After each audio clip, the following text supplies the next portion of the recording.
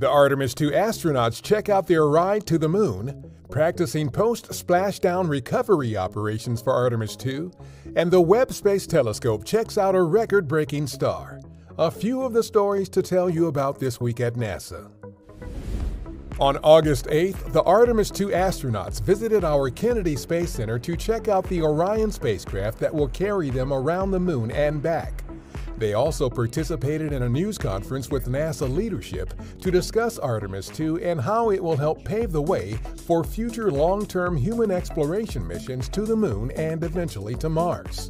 The measure of success for Artemis II is seeing our colleagues on the lunar surface, seeing our colleagues assembling Gateway, and then seeing people that are following in our footsteps walking on Mars and coming back to planet Earth.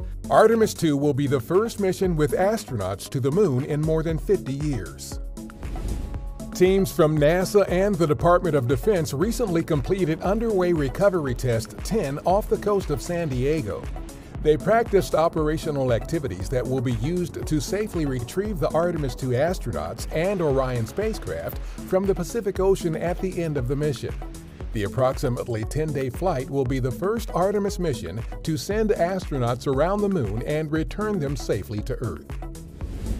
Our James Webb Space Telescope followed up on the Hubble Space Telescope's observations of Earendel, the farthest star ever detected in the very distant universe within the first billion years after the Big Bang. Webb's near-infrared camera revealed that the massive star is more than twice as hot as our Sun and about a million times more luminous.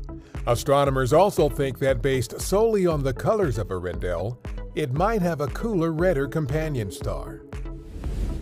This October, NASA will launch the Heliophysics Big Year, a global celebration of solar science and the Sun's influence on Earth and the entire solar system.